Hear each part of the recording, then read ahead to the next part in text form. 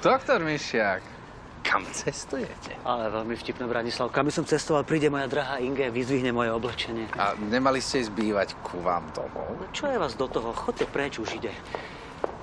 Ahoj, láska. Ahoj. Ahoj. Dobrý, dobrý. Dobrý. Eh, tu je to... Nemáte ne roboty, chodte preč. Ja len, že mali ste ísť bývať ku vám do bytu, nie? Tak eh, čo sa stalo? No, Mali, mali, ale ja by som radšej vychovávala naše dieťa na smetisku. Oh. ale no tak, No. Proste to sme preberali, veď, no... Ale hej, no, fakt, fakt, lebo ja keď som vstúpila do toho bytu, čo Tomáško tak, tak ospevoval, No, tak- tak... som sa skoro dogrcala. Ale tak máš Doslova, nevoľnosti, nie? Veď to je z toho Nie, predsa. Nie, Zober tie to veci. nebola, to nebola, ako on veľmi rád tvrdí, tehotenská nevoľnosť, Áno, áno. ale bola to špina, Môžeme za to, že Richard Dobeš celý ten byt zničil, kompletne ho Pleseň. zničil. Budeme predsa maľovať, sme sa bavili.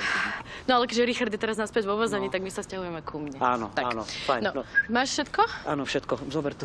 Áno, e, je tam všetko. Trenky si si zbalil? Áno, zbalil som si. Ponožky si si zbalil? Áno,